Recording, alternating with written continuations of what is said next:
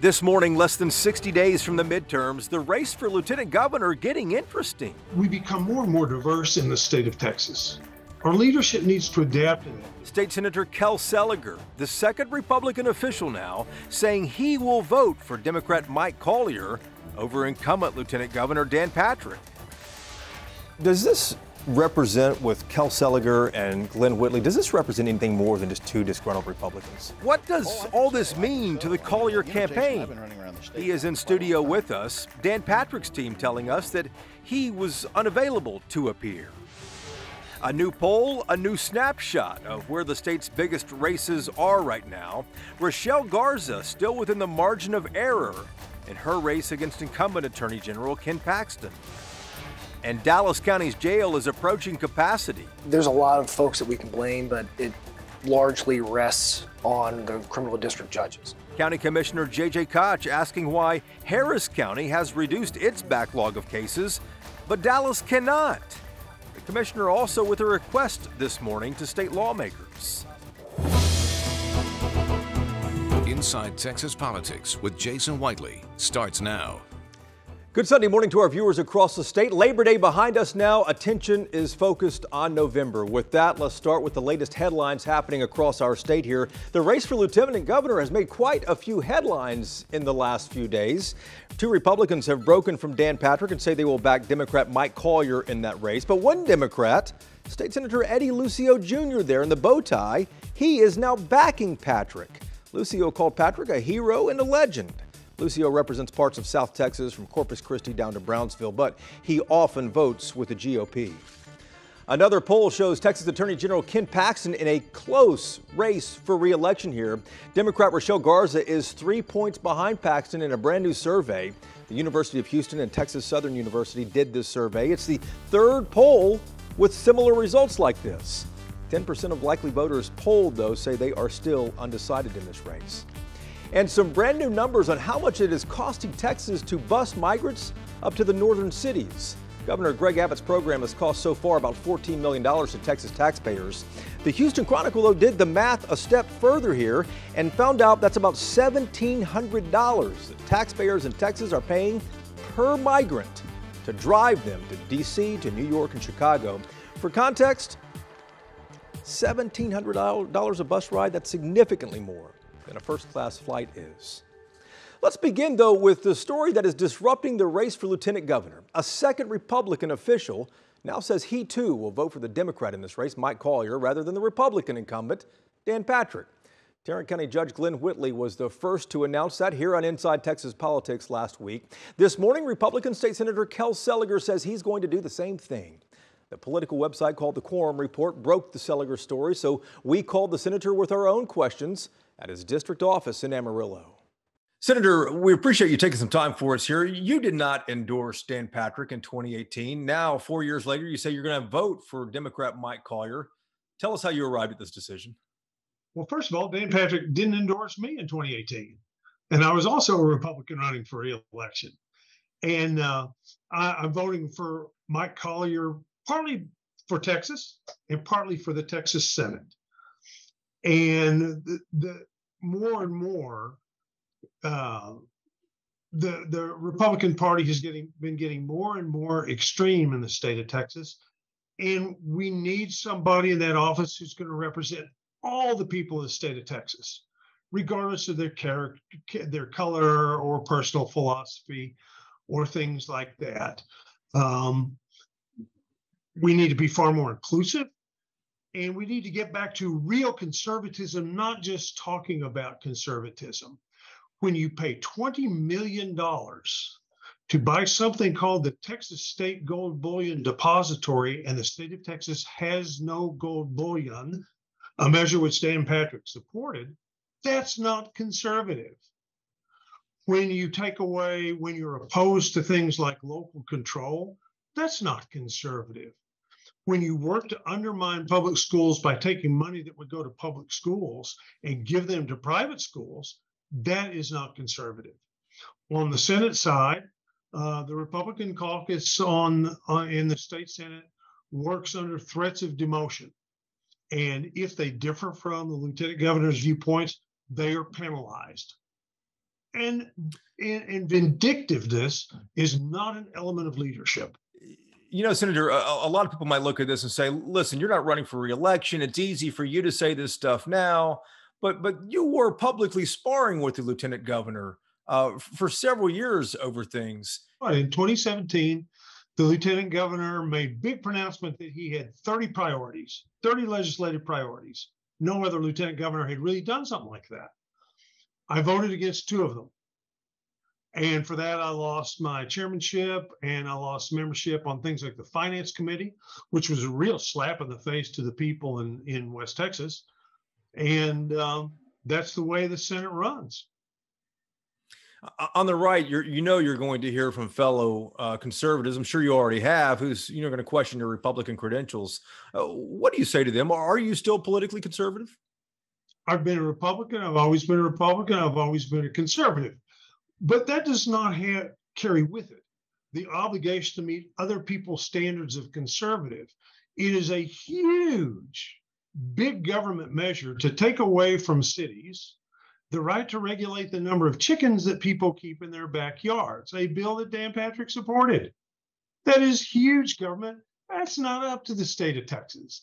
It's up to local city councils. And if people don't like it, they get a new city council. By making this public statement saying you're going to vote for Mike Collier, you're obviously sending a message. What specifically do you want that message to be to Texans?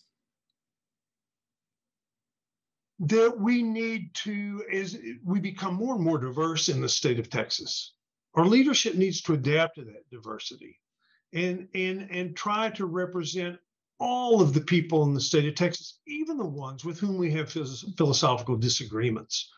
And I think that's that's very important. Dan Patrick is an extremist, and some of the things that he is very, very intent about, I share those feelings, and some of them I don't. And uh, I think we need to get back to, to good, moderate leadership that represents all the people of the state of Texas. Senator, we appreciate you taking some time this morning. Thank you for having me. Let's return now to accountability after Uvalde. It has been slow. Remember, there were more state troopers there at the scene that day than any other law enforcement agency. 91 troopers were there. We now know at least five of them are under investigation for the mass murder of fourth graders in that elementary school, and specifically the law enforcement response to it. Matthew Watkins is the managing editor of news and politics at the Texas Tribune. He is in Austin. Matthew, good to see you. Do, do we have any idea what these troopers are being investigated for and whether any more troopers might be under investigation for the response? So DPS has not said the exact reasons or what they're being investigated for. I mean, we do know some of the questions, right? As you already mentioned, there were more DPS troopers on the scene than anyone else. It ca- took more than an hour for law enforcement to storm the classroom where the shooter was holed up. And the questions persist about, you know, DPS is one of their roles is to kind of help under resourced departments. The Uvalde PD or the Uvalde ISD police department is a tiny department, not sufficiently equipped to handle a incident like this. So I think one of the questions people are wondering about is why didn't they do more to kind of take control of the situation if as DPS has said it was so mismanaged by the the jurisdiction that was in charge. And, and politically speaking, do you expect any of this to have any reverberations in Governor Abbott's reelection campaign? You know, I would say Abbott continues to take heed on this and continues to kind of act as someone who's concerned about the blowback here. You know, of course, he said early on that things could have been worse if not for the actions of law enforcement. There was a television commercial that started airing today by a group kind of attacking Abbott over this issue. So, yeah, I mean, I think it's something that uh, will continue to be a topic of conversation in the campaign. All right, Matthew, back to you in just a moment. Thank you very much. Coming up next here, Mike Collier in studio, the Democrat running for lieutenant governor, getting Republican support. What is his strategy with all of that during the last 60 days before the election? And Dallas County's jail approaching capacity. County Commissioner J.J. Koch on why the problem is getting worse and what he wants the state to do next legislative session. And if you want to keep up with Texas politics during the week, subscribe to our podcast. It is called Y'all-itics. New content, fresh interviews. Episodes drop every Sunday here, wherever you get your podcasts. Welcome back to Inside Texas Politics. We invited Lieutenant Governor Dan Patrick to join us on the program this morning. His campaign said he was unavailable. So, how big of a deal is it that two Texas Republican officials say they're now going to vote for the Democrat running against Patrick? Mike Collier's campaign certainly got a boost from these endorsements, at least in the headlines. We spoke to Collier about that in studio. Mike, good morning to you. D- does this represent with Kel Seliger and Glen Whitley, does this represent anything more than just two disgruntled Republicans? Oh, I think so. I think so. I mean, uh, you know, Jason, I've been running around the state now for quite a long time. And when I travel the state, I talk to Democrats, of course, but I also talk to independents. I also talk to Republicans. I've got a lot of Republicans in my personal life, in my professional life. And I've spoken to those guys many times.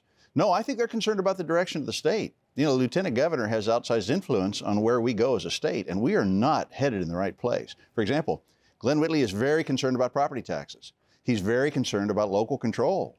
He ought to be. So am I. How many Republican elected officials have agreed to meet with you since you started the campaign? Oh, I suppose about a dozen. Yeah, I suppose about a dozen. And, and what has uh, the reaction been? And uh, th- these guys are in office. It could be dangerous meeting with a Democrat like you. Well, sometimes it's okay to be seen walking into their office. Sometimes we meet someplace else so that really? nobody can see. Yeah, that that happens. You know, but I think you know these are elected officials, and they have constituents they're concerned about. They really, I think, partisan politics makes life difficult for them. I mean, they're just trying to make sure that we got good roads, make sure that you got you know law enforcement, to make sure the budget makes sense. And they they hear me come around, and we just talk about the numbers and what's it take to have good policy in the state. They they seem very welcoming to me. A dozen Republican elected officials. Does that, surprise you that they took your meeting? That they said, "Yeah, no. we'd like to meet with you." No, no, it doesn't at all. Well, like I say, I mean, I've been running around the state for a long time, and I talk to Democrats and Republicans and independents. In my professional life in the energy industry, I talk to Republicans all day long. And it's very refreshing for me, I can tell you, as the candidate, because we roll up our sleeves and we talk about policy and what makes this state work, what do we need to do different. It gives me a great sense of confidence that if I'm honored to be the lieutenant governor, then we can roll up our sleeves and not make everything partisan warfare, but just, and some of these problems that we have to solve are complicated. Fixing the damn grid is not simple stuff. And it's good to have friends and we talk about these things. I've said that many times over many years. Let's take the politics out of it and just talk about policy it's challenging to do that in today's environment, but when you have folks on the other side of the aisle, and I'm not sure this is, I'm not aware of this ever happening before. I don't think it's happening around the country, but it's happening here. And you have folks on the other side of the aisle saying, I know him, I've met with him, I agree with him on many things. That helps me a lot. Well, what role will Seliger or Whitley play in your campaign, if at all? Will they appear on mailers and ads, write you a check, do you, do you think they'll uh, have any role at all? Well, I don't expect them to write any checks. I have to do all that work myself. Uh, we'll see. Uh, you know, I think they, I think they have a strong desire to see me win this race, and they have their networks. And uh, and I'm not going to make them part of the team. You know, we're not going to have a daily conference call. I'm not going to ask them to do X or Y or Z. But I would say this: they are sufficiently enthused to come out publicly, and I think now they want me to win. And I suspect that they'll help, and I hope they do. Mike, thank you very much. Thank you, Jason. Texas lawmakers will have $27 billion more to spend when they reconvene in January. A Dallas County Commissioner is urging the state and lawmakers there and the next Lieutenant Governor to share that windfall rather than sock it away in savings. But the more immediate problem, at least in Dallas, is the county jail. It is close to capacity, and we begin there with the County Commissioner J.J. Koch, the only Republican serving on Dallas's County Commission. Commissioner, good to see you. Let's start out with, with a basic question. What happens if the county jail exceeds capacity? We spend a lot of money, a lot of money. Uh, basically, we'll have to ship folks uh, to other places. Currently, Harris County is shipping folks to Louisiana, uh, to some of their facilities, and from what I understand, they're spending somewhere near $26 million to do so. So um, we're already spending a, a tremendous amount in overtime dollars. If we go about 900 more folks in our jail, we'll be spending millions of dollars to house them elsewhere. The big question is how in the world do we get to this situation? Normally, the jail population is around 5,000 or so. The capacity is, I think, what, 7,200? Yes. And now we're up in the 6,800 or 6,000s. Yes. How did we get here? Um, there's a lot of folks that we can blame, but it largely rests on the criminal district judges. Um, they're they, just not approving cases or, or, not, not pushing cases through or what? Yeah, they're not disposing of enough cases. And one of the big things is they have to hold trials. And typically, when you get closer to trial, usually plea deals in those more difficult cases where there's certain contentious issues can get resolved.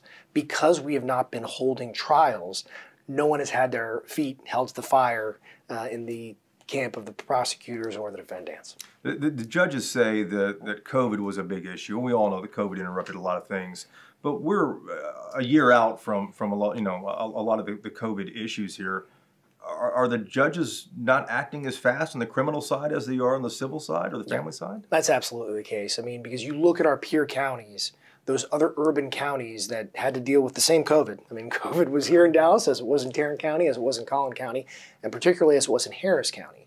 And Harris County probably dealt with the COVID restrictions very similar uh, in, in fashion that, that, we did here in Dallas, and they are, you know, they've worked down uh, their backlog very quickly, um, and we haven't. Legislature reconvenes in January. From a county perspective, what do you want state lawmakers to do? Because we watch them chip away at local control for session after session.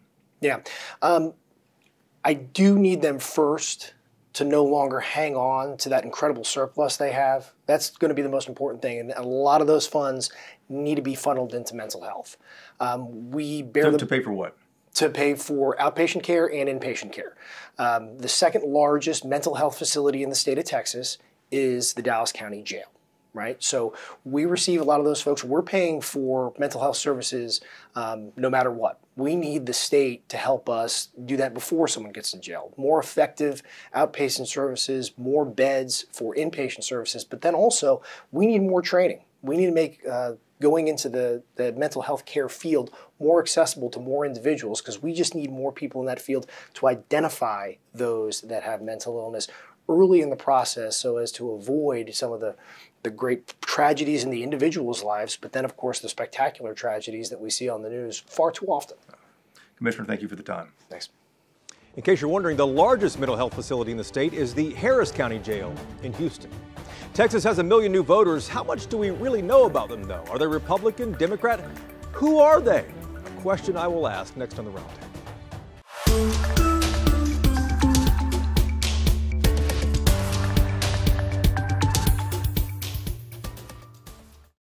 Time now for Reporters Roundtable to put the headlines in perspective. Matthew Watkins is back with us from the Texas Tribune in Austin. Bud Kennedy is here from the Fort Worth Star Telegram. And Berna Dean Steptoe is a political producer at WFAA in Dallas and joins us for this segment each week. You know, uh, Matthew, let's start with you and talk about this Whitley news, the Seliger news, the Eddie Lucio Jr. news. It, you know, we're still, what, 60 days away from the, the election. Is any of this going to play a role at all the closer we get to Election Day? You know, I'm not sure how huge any of these names are to the average Texas voter, but I think the the narrative here aligns with what Mike Collier is wanting to push. And you know, the fact is that Dan Patrick engaged with Collier over this, which is something that he hasn't done on any other issue really during the campaign. So it seems to have struck at least somewhat of a nerve. And you know, Bud, a, lot of folks have been talking, at least in these circles, whether any other Republicans might come out and endorse Mike Collier over uh, Dan Patrick. You spoke with a former uh, Fort Worth Mayor Betsy Price, who is a Republican. What did she tell you? Right. Betsy Price says uh, just, and this is a, a first. She's a, been a strong Republican for 20 years, campaigned for for uh, Abbott, for, for Rick Perry, for the Bushes, uh, even for Donald Trump. But she says, do not vote for the party at all this year. Vote for the best candidate. Uh, that's as far as she'll go. She says, don't vote by party at all. Uh, I, I, think in this case, I think what uh, Glen Whitley and Kel Seliger has have done is open the door for someone else to join them if they want to come join them in the boat. Uh, you know, it's also kind of put a dent in the just the aura of inevitability around Dan Patrick's reelection. You know, people are kind of scratching saying, well, is he going to get reelected? Maybe not. And Berna Dean, if we if we zoom out, taking the news about Betsy Price that Bud broke on Friday and Kel Seliger, Glen Whitley, uh, how big of a deal is that? And I guess the, the broader question: Do you think that that Governor Patrick is leaking any support at all. You know what? One thing that I'm sure Lieutenant Governor Patrick doesn't like is the fact that he's having to talk about his opponent. And uh, he's having to deal with the fact that some of his Republicans are turning against him. And nobody wants that, especially this close to the election, which is, you know, in terms of elections and politics, we are far out. But no candidate wants to get off of their message to talk about their opponent. And that is what uh, Patrick is having to do. And, and, of course, all the campaigns, Bud, are looking at these new voters in the state. There are a million new voters since the 2020 election. What do we know about them? Well, the new voters, of course, it's tough since they haven't voted yet to have any kind of party record. But judging from all the data that's available on demographics, on, on uh, you know consumer data, you know, we can guess they're about 70% Democratic, uh, you know, among the younger voters, mostly younger voters, 70% Democratic, but there's no outpouring of women voters like there was in Kansas. Uh, they're evenly uh, evenly split, young men, young women, uh, mostly Democrats. And, and now the, the new voters are about 55 45 Democrats. And no outpouring, Bernardine, of, of women. What, what does that tell you? Well, no outpouring of women of new voters, right. or new or registered voters, because keep in mind there there could be a large number who've already registered.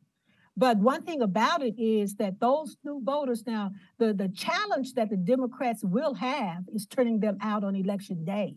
But if you look at the the the data and the, the what polling that's coming out now, most of those new voters are saying that they're they're voting Democrat.